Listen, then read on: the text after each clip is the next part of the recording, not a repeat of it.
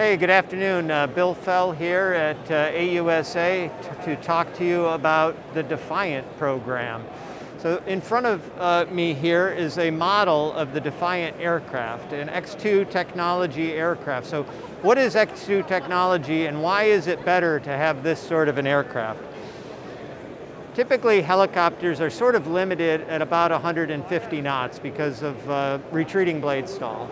And this aircraft doesn't have to fight with that because we have two rotors. We have an upper rotor that turns this direction and a lower rotor that turns this direction. And we rely on the lift of what's called the advancing side of those discs to produce uh, more efficient lift and uh, that allows us to go fast. And so as we go faster and faster, we need less and less pitch on these rotor blades to go fast, which allows us to use all of the engine power to go into the pusher prop to go fast. This aircraft has gone 247 knots in level flight already. It's gone 56 knots in side flight. So when you design a helicopter, you typically design it and you think, ah, how much power do we need to hover? Or what hover environment do we want to put this aircraft in? And then you put that much power in it. Well, in a, in a, a fast helicopter like Defiant, you design it around how much power you need to push it to the speed. The Army's asked for 230 knots, we've gone 247 knots. And so what that means is, if I have combat damage in this aircraft, I can lose one engine and still hover on that one engine at mission gross weights, as well as go all the way out to 150, 160 knots on one engine. So great combat survivability. Additionally, the pusher prop will allow us to go out there at those speeds around 250 knots but without the pusher prop, I can still fly as a helicopter at around 150 knots. And if I disengage the pusher prop, uh, I get rid of the acoustic signature of that prop and I'm a much quieter machine uh, at this point as well. Additionally, because we have this big rotor system, we're a traditional helicopter and we have great hover efficiency and we're able to do things like pick up a 5,300 pound load like we did. And we had a lot of uh, power remaining in picking up that load. So you can do those normal helicopter things. Uh, why don't we transition over here? We have a mock-up of the Defiant aircraft.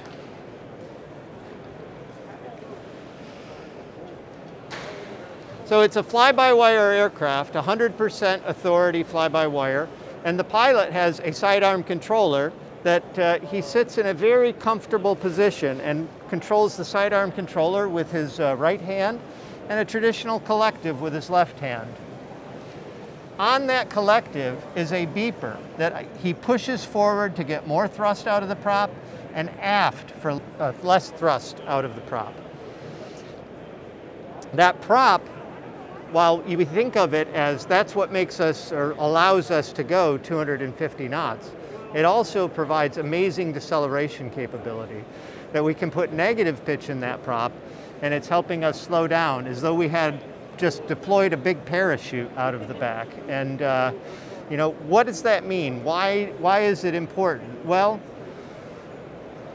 it's less time in that vulnerable position where you're coming into those landing zones under enemy fire. You're able to keep the speed on longer uh, as you're coming into those landing zones than, uh, you know, if you had to, you know, start slowing down earlier. You can keep the speed on until right before you get to that landing zone, negative pitch on the prop, decelerate rapidly.